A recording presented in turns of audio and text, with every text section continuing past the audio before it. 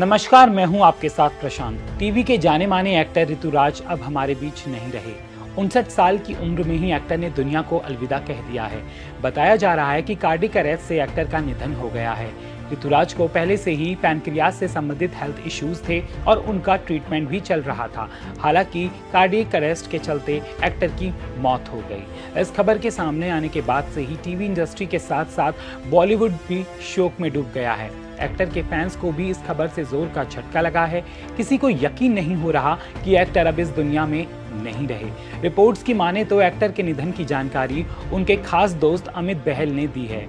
एक leading website को उन्होंने बताया कि कार्डिक अरेस्ट के कारण उनका निधन हो गया। उन्हें कुछ समय पहले पैनक्रियास के इलाज के लिए अस्पताल में भर्ती कराया गया था। घर लौटने पर कुछ हृदय संबंधी जटिलताएँ हुई और उनका निधन हो गया।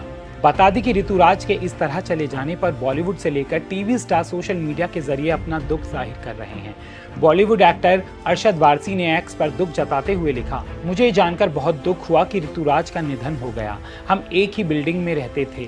वह एक निर्माता के रूप में मेरी पहली फ़िल्म का हिस्सा थे। एक दोस्त और एक महान अभिनेता को खो दिया। आपकी याद आएगी भाई। टीवी एक्ट्रेस कविता कौशिक ने दुख ज़ाहिर करते हुए लिखा अद्भुत अभिनेता क्रेजी एनर्जी एक पार्टी का जीवन, कुटुंब में मेरे स्क्रीन पिता, उनसे बहुत कुछ सीखा, बहुत जल्दी चले गए ऋतुराज।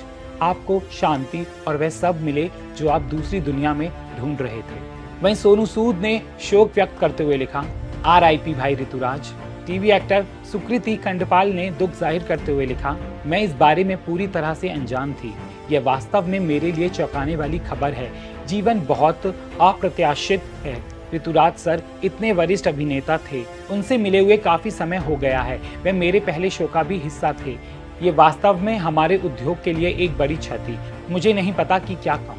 बता दें कि ऋतुराज सिंह ने कई फ़िल्मों और टीवी शोज़ में काम किया था। उन्होंने अपने करियर की शुरुआत नब्बे के दशक में थिएटर से की थी। मीडिया रिपोर्ट्स की माने तो वो दिल्ली में थिएटर के दिनों के दौरान बॉलीवुड एक्टर शाहरुख खान के करीबी दोस्त हुआ करते थे। बता दें कि एक्टर ने कई जाने माने शोज़ में काम किया है, जिसमें कहानी घर घर की ये रिश्ता कहलाता है, जैसे शोज़ के नाम शामिल है। एक्टर फ़िलहाल टीवी के नंबर वन शो अनुपमा में दिखाई दे रहे थे। कुछ महीनों पहले ही शो में उनकी एंट्री हुई थी। शो में एक्टर को काफ़ी पसंद किया जा रहा था। हालाँकि कुछ दिनों से वो शो से भी गायब चल रहे थे, जिसके पीछे उनकी खराब सेहत बताई जा रही थी।